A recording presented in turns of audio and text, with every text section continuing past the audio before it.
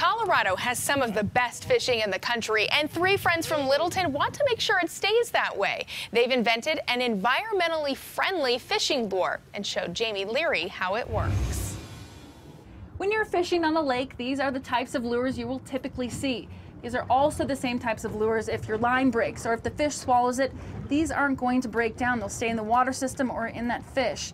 A Colorado-based company, they've come up with a plant-based formula for these lures, and it's changing the game of fishing for the better. We've known each other since we were 13 years old. We've been fishing buddies forever. Eric, Jared, and Tyler may not be teenagers anymore, but they're still just as crazy about fishing. You can find them on the water all the time. now, well, now that we've started this less than we'd like to, it's a killer bait. We catch most of our fish on these. The trio turned their passion into a business, BioBait, and they didn't hesitate to show us what their lures are all about. I'm gonna throw a leech right now because it's pretty hot. Each lure is their own lifelike design, and all are biodegradable. It's over 90% uh, plant-based formula, and it's infused with a fish oil, so it never dries out. You just kind of cast it out, let it at the bottom, and just kind of slowly move it.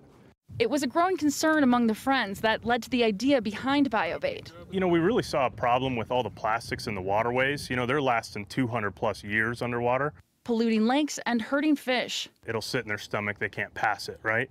It expands in their stomach. Most of the time, it kills that fish. They've been working alongside Colorado Parks and Wildlife, hoping to make an impact. Uh, that's a decent one. Chatfield walleye.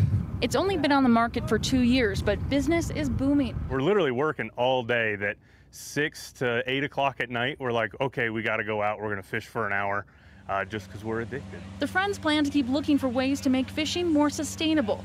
But there's one problem they may never solve. Who is the best?